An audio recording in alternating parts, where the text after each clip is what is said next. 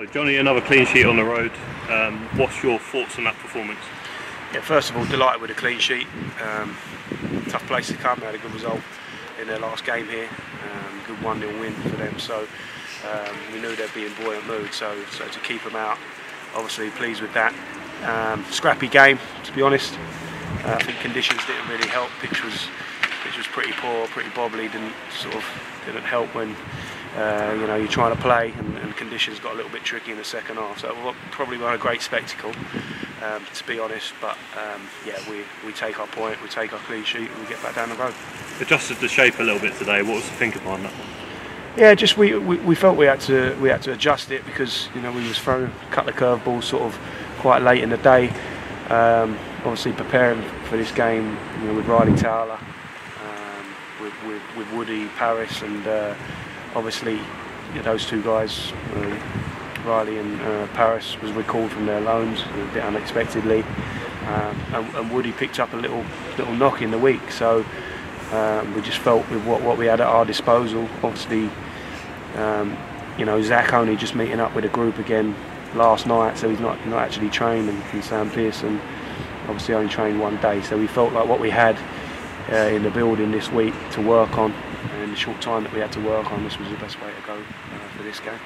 Obviously, had to switch the starting 11 around, but looking at the bench, you had a lot more attacking options. That must be a positive moving forward. Yeah, that was nice. Obviously, we've changed the, um, we've made two sort of uh, forward substitutions today, which you know haven't always had the luxury to do. Um, I've had I've had decent defensive options of late, you know, and experience, but Piercy and Brownie came into the team today, so so the bench defensively looked a little bit different today, but we did have a few attacking options. Nice to get you know Coonsy some more minutes, and, and obviously nice to have Zach back with us and, and get him on the pitch. So it, it's nice that you know when you're looking at it and you're trying to affect the game in a positive way from the bench, um, that you have got those options. What do you feel Sam Pearson's going to bring to the team? he's an exciting player. I just felt today probably wasn't the right game uh, to get him in, especially the state of the game and, and, the shape that we was playing. It's probably it's probably more get some uh, the, the, two forwards on. Um, but yeah, he's, he's, an exciting wide player. Can play can play both sides. Can play off the front, and uh, you know he wants to get at people. He's an attacking winger. He's got pace and he's sharp. So uh, in that final third, he'll be a threat. I'm sure he will. Just lastly, how do you feel after you know quite a difficult week?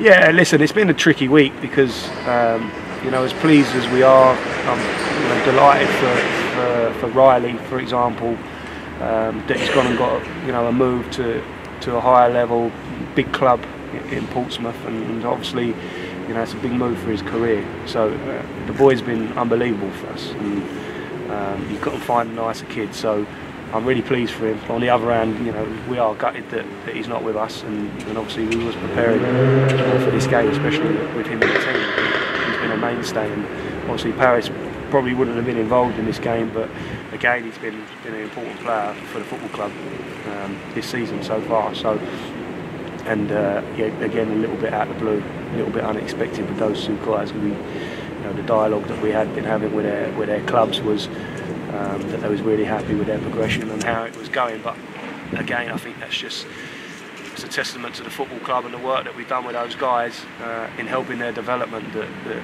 you know they've done so well that um, teams from from higher up have, come in from, and, and, that's the nature of, of where we're at as a, as a football club and the level. So it's you know it's bittersweet. I'm, I'm pleased for those lads to, to get those opportunities, but uh, obviously disappointed for us. And, you know, to not have our captain as well today is sort of a bit of a uh, double whammy really to, to not have Woody and that, that, that, sort of come a bit late in the day as well. So it felt like it was it was you know set up for us maybe to not come here and, and get anything the way that the week had gone so far. But uh, we've come here, we put in a really solid performance. We've got a good point and we got a clean sheet, and you could see the lads were fighting and.